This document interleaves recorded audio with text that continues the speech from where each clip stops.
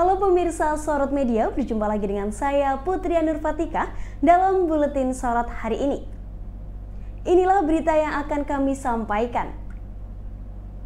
Kampanye Hari Keselamatan Pasien Sedunia atau World Safety Patient Day diselenggarakan oleh jajaran RSUD Wonosari di depan Videotron Rumah Sakit setempat pada hari Kamis 17 September 2020 pagi.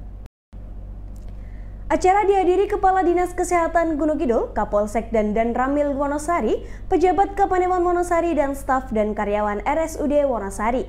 Kegiatan berlangsung singkat dengan tetap menerapkan protokol kesehatan. Kampanye keselamatan pasien sedunia kali ini mengambil tema keselamatan tenaga kesehatan, keselamatan kita semua.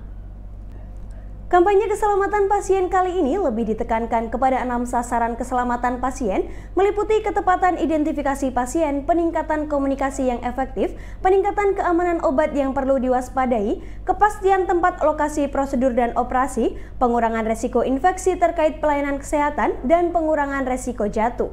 Dr. Heru juga mengharapkan kepada semua pasien untuk lebih terbuka kepada tenaga kesehatan yang memeriksa Hal itu meliputi riwayat penyakit yang diderita agar dapat didiagnosa dengan tepat.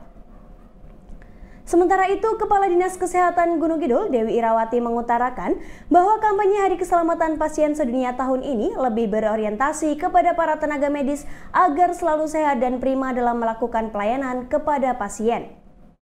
Kegiatan kali ini juga diisi dengan mengheningkan cipta sejenak untuk para tenaga medis yang telah gugur dalam menjalankan tugas selama pandemi corona. Pembagian masker serta kampanye gerakan 4M kepada para pengguna jalan di sekitar lampu merah di depan RSUD Wonosari.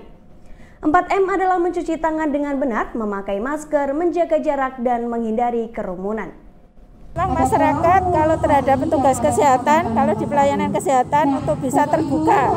Karena petugas kesehatan untuk bisa memberikan pelayanan yang baik itu kan butuh data-data atau keterbukaan dari pasien. Masalah uh, riwayat sakitnya masalah gejala-gejalanya itu harus terbuka terhadap petugas kesehatan sehingga petugas kesehatan akan lebih bisa uh, tepat dalam mendiagnosis penyakit otomatis nanti akan tepat juga dalam memberikan pengobatan atau terapi.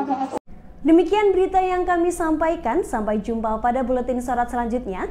Saya Putri Nur Fatika pamit undur diri. Terima kasih dan sampai jumpa.